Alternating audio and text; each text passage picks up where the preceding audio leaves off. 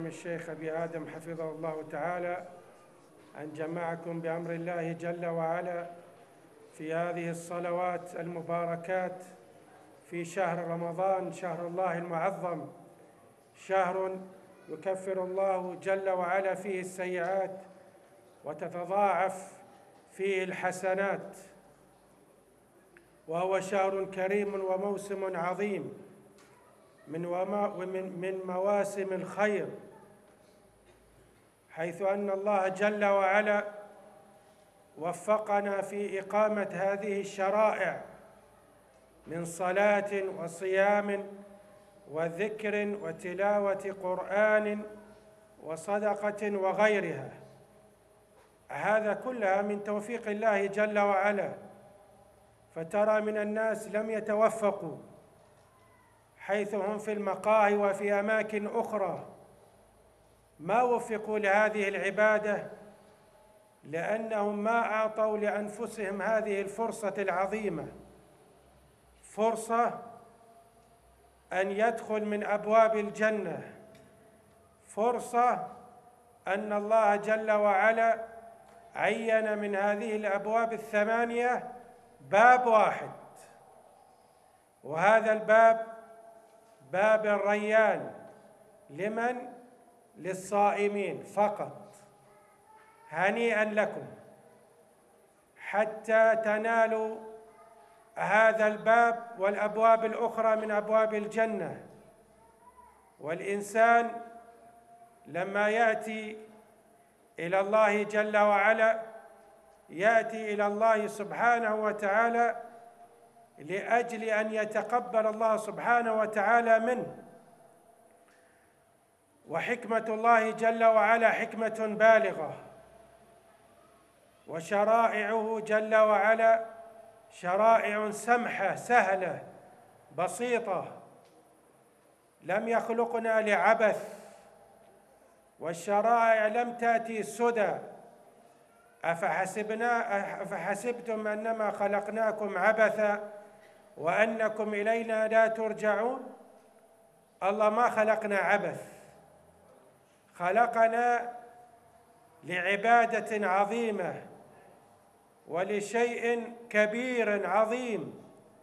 وما خلقت الجن والإنس إلا ليعبدون.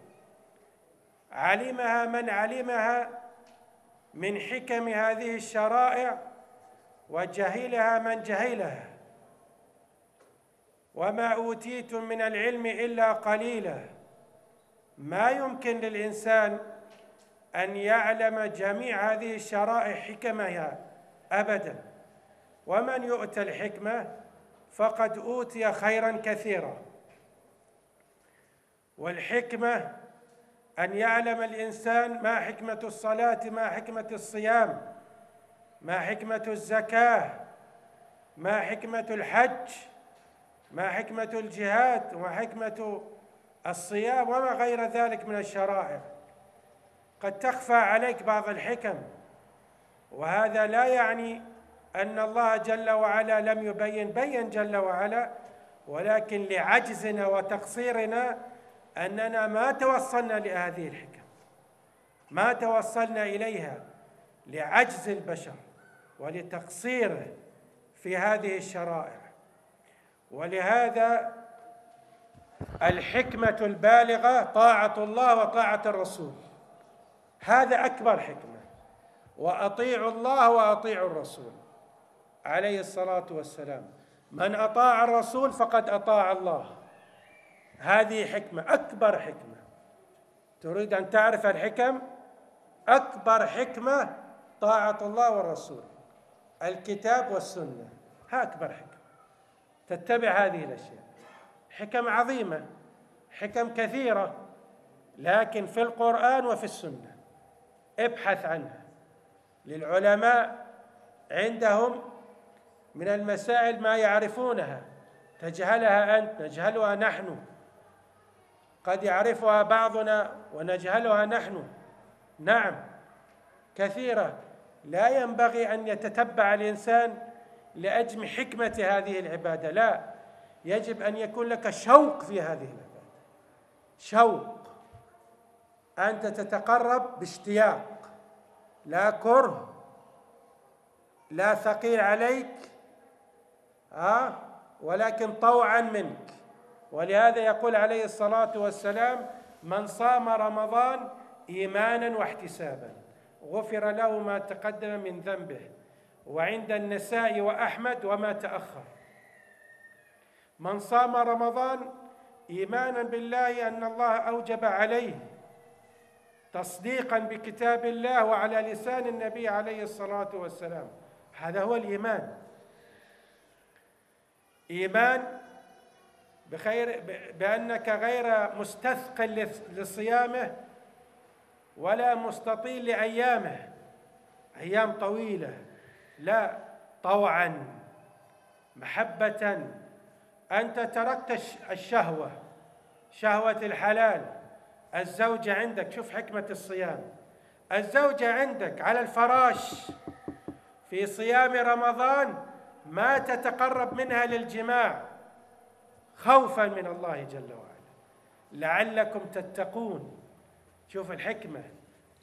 أنت قبحت شهوة الحلال مع أنها حلال لكن ما جامعت في نهار رمضان حتى لا تقترف الإثم والكفارة المغلظة في إتيان الزوجة في نهار رمضان جهارا خوفا من الله لعلكم تتقون.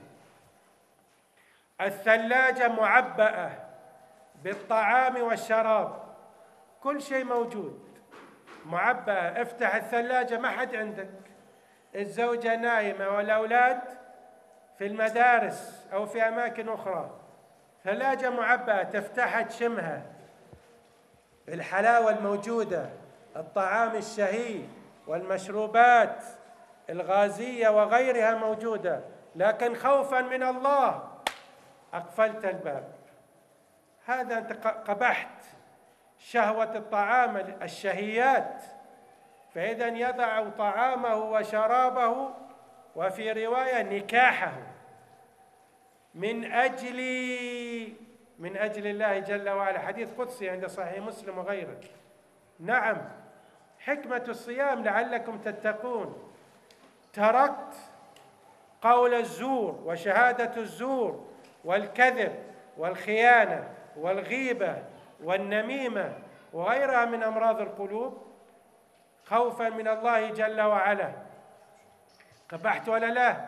دست على هوى نفسك. ابتعد عن هذه الأشياء. من لم يدع قول الزور والعمل به والجهل فليس لله حاجة من أن يضع طعامه وشرابه. نعم تركت كل هذه الأشياء. تركت ماذا؟ النظر إلى المحرمات واقتراف السيئات في نهارها وليلها. رجاء ما رجاء ثواب الله جل وعلا. تركت. أما أن تقبل من الشرائع ما يقبله نفسك وتدع وتدع, وتدع من الشرائع ما لا يقبله نفسك هذا ليس من الدين. أنت ما أطعت الطاعة الصحيحة. الطاعة الصحيحة رضا النفس على جميع هذه الشرائع التي أوجبها الله جل وعلا عليك. جميع هذه الأشياء. الواجبات أنت تقبلها من رضا نفسك. هذا هو الإيمان. أين الإيمان إذن؟ الإيمان طوعا لله جل وعلا. أتيت طوعا شوقا لهذه الصلاة. طاعة لله جل وعلا. احتسابا للأجر والثواب. لا رياء لا فخر. لا علشان فلان الإمام الفلاني يراني أو الشيخ الفلاني. ولا لأجل زوجتي وأولادي. ولا لأجل فلان وعلان. لا. لأجل الله إيمانا واحتسابا. تحتسب الأجر لله جل وعلا. أجر الآخرة. هنا القبول هنا. أنت تخلو مع نفسك. ماذا تفعل؟ ماذا تريد أن تتقدم؟ ماذا تريد أن تعمل؟ تدع هذا تعمل هذا؟ لا. أنا أعمل على موجب الشريعة. أدع على موجب الشريعة. التقوى قائم على أمرين أمر ونهي. بس. هذا كل العلماء شرحوها. تختصر زبدة في كلمتين. أمرين. أمر نهي. الدين قائم على شيئين فقط. أمر تأتي إلى الأوامر. رضا نفسك. نهي حرام خلاص ما في أسهل. ما في في النهي لا يكلف الله نفسا إلا ما أتاها لا ما في هذا. الأمر اتقوا الله ما استطعتم. حسب الاستطاعة. ما أمرتكم عن شيء فأتوه فأتوا منه ما استطعتم. ما تستطيع أن تصلي قائم صلي جالس. ما تستطيع جالس على جنبك. على جنبك ما تستطيع حرك العينين. ما في هذا. العينان. ما في عين ما في كل شيء مشلول القلب. هذا العقل موجود حتى يجن. إذا جن رفع عنه القلم. نعم. فأتوا منه ما استطعتم. صيام مريض فعدة من أيام أخرى. أخر. عندك لين شعبان. أخر ما في مشكلة. مسافر فعدة من أيام أخرى. ليش؟ يريد الله بكم اليسر ولا يريد بكم العسر. دين سمح. دين سهل دين بسيط لكن كيف يؤديها الإنسان هذا العمل؟ كيف يؤدي هذا العمل؟ كيف يؤدي هذه الطريقة هذه العبادة؟ بس يسأل أهل العلم فاسألوا أهل العلم فاسألوا أهل الذكر إن كنتم لا تعلمون.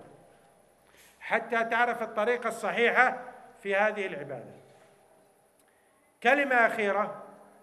جزاه الله خير شيخ أبو آدم. طلبت منه أن الإمام يخفف عليكم. وجزاه الله خير تبرع من نفسه جاء من بلاد بعيدة شاب حافظ.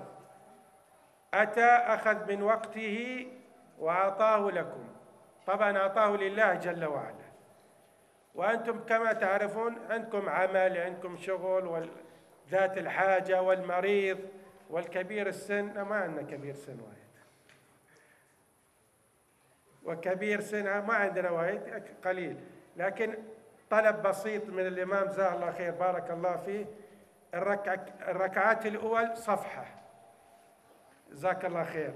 والركعة الثانية تأتي حتى تبقى لك آيتين أو ثلاث تدعها للركعة الأولى من الركعات الأخرى. بعد الأيام الساعات تزيد ولا تنقص؟ سؤال شيخ أبو آدم. تنقص؟ زد الآيات. بعدين زدها. علشان الناس يتعودون شوي في العبادة. ويشتاقون إلى هذه العبادة. لأن أحب العمل إلى الله أدومه وإن قل. أنت إذا صليت مع الإمام ولو ركع آيتين ثلاث آيات بتمهل ولو ثلاث آيات أربع آيات حتى ينهيها وينصرف من محرابه من مكانه كتب لك قيام ليلة.